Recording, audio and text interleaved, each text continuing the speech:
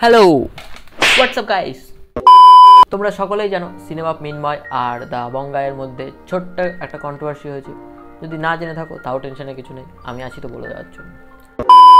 কিরণ দা মিনময় দাকে ট্রোল করে একটা কথা বলেছিল। তা কি বলেছিল তোমরা একটু শুনে নাও। অন্তি সায়ন্তিকার মতো নাম্বার আনতে পারি না, কিন্তু গ্ল্যামার আছে।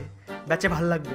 শুধু পুরনো ক্লিশে যোগ মেরে মেয়েদের সামনে কমেডিয়ান সাজতে এসছি। যেমন রুটোবার, টি, বাইজি।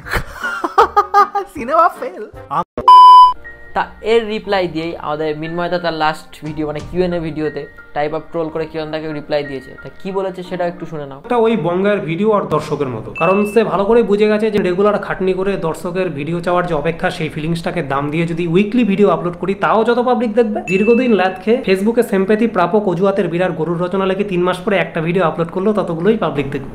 সেজন্য পাবলিক যতই চিল্লাক বাবা ভিডিও কবে দেবে ভিডিও কবে দাও পাত্তা পাত্তা দেয় না। বড় হয়ে গেছে পাত্তা পাত্তা দেয় না ও ঠিক ল্যাদ ফ্যাদ খাবে। ছ মাস পরে জানে ভিডিও আপলোড করলে পাবলিক ততটাই দেখবে।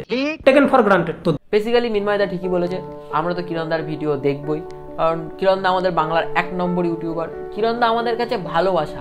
কিরণদা যদি মাসে একটা ভিডিও দেয়, তাও দেখব। ছ মাসে একটা ভিডিও দিলে, তাও দেখব। বছরে একটা ভিডিও দিলে তা বছর একটু বেশি হয়ে গেল। আর দাদা তো এখন বলেছে, দাদা এখন রেগুলার ভিডিও দেবে, মাসে দুটো করে ভিডিও দেবে। দাদা ওদিন বাড়ির মানে রুমের কাজে ফ্ল্যাটের কাজের জন্য একটু ব্যস্ত ছিল, তাই ভিডিও দিতে পারেনি। এখন তো দাদা আমাদের ভিডিও দেবেই ডেলি আর রইল মিনময়দার কথা। মিনময়দা তো আমাদের প্রফেশনাল কমেডি ইউটিউবার বাংলার মধ্যে। হ্যাঁ কিছু কিছু বাসি জোক আছে যেগুলো বাদ দিলে একদম দাদার কন্টেন্ট ধোয়া তুলছে কথার মতো। বেসিক্যালি বাংলায় কন্ট্রোভার্সি একটা ট্রেন্ড হয়ে দাঁড়িয়েছে। এ ওকে পোক করছে ও ওকে পোক করছে আট থেকে আসি সবাই সবাইকে পোক করছে।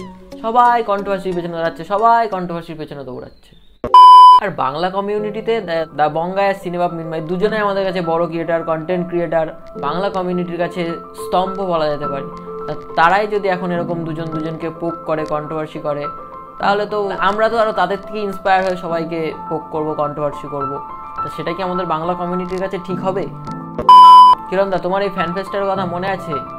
এই ফ্যান ফেস্টের লাস্ট পার্টটা শুনলে জাস্ট গায়ে, কি বলব, কাটা দিয়ে ওঠে। টু ফ্যান ফেস্ট যেখানে সব ইউটিউবাররা স্টেজে পারফর্ম করেছিল সেটা ইউটিউব ফ্যানফেস্টের ইউটিউব চ্যানেলে দেখলেই পেয়ে যাবে।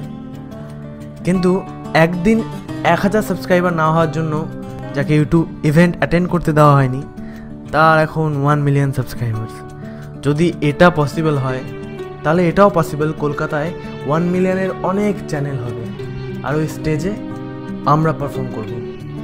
বাংলায়। কারণ মুম্বাইয়ে বাংলায় পারফর্ম করলে কেউ বুঝবে না। আর হয়তো ওদের বাংলা ইউটিউবার চাইও না। তাই একদিন কলকাতায় ইউটিউব ফ্যান ফেস্ট হবে।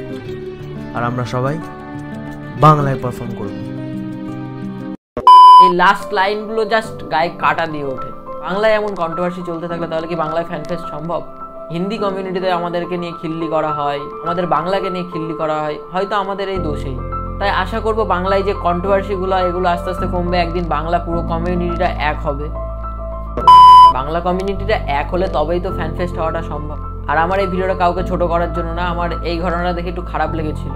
তাই সাধারণত বাংলা, পুরো বাংলা কমিউনিটিতে আমরা কন্ট্রোভার্সি দেখতে পারি। আর এখন বড় ইউটিউবাররাও যদি এটা করে, তাহলে এটা এটা তো ঠিক না, আমার কাছে ঠিক লাগেনি, তাই আমি এই ব্যাপারটা তুলে ধরলাম।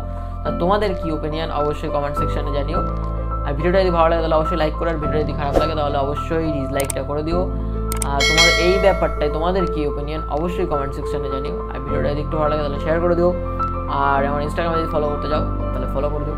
তো আজকের জন্য এটুকুই, দেখা হচ্ছে খুব তাড়াতাড়ি। তো বাই